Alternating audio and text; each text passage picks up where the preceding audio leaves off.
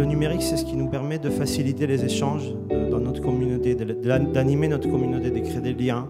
Il y a urgence parce qu'aujourd'hui, la France, euh, elle n'est pas bien classée. On est 16e au niveau européen sur la numérisation de ces TPE-PME, mais surtout, c'est une opportunité incroyable pour elle en se numérisant, c'est la capacité à développer leur chiffre d'affaires, à toucher de nouveaux clients, mais c'est surtout la capacité à survivre dans cette très grande transformation que toute l'économie est en train de rencontrer.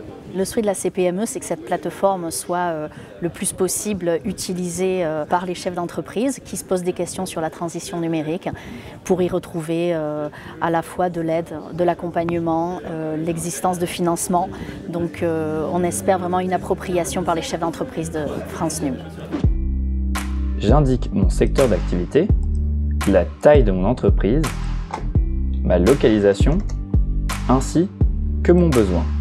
On s'appuie sur euh, l'expérience et l'expertise locale euh, et pas sur des grands grands schémas nationaux, euh, ce qui correspond exactement aux forces du point FR sur le territoire français. Donc on est très alignés et très heureux.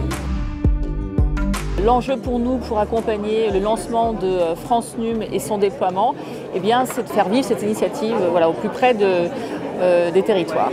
Quand on nous a dit qu'il y avait cette initiative au niveau national, naturellement, nous avons regardé et nous avons souhaité y participer. C'est que le début euh, d'une mobilisation générale.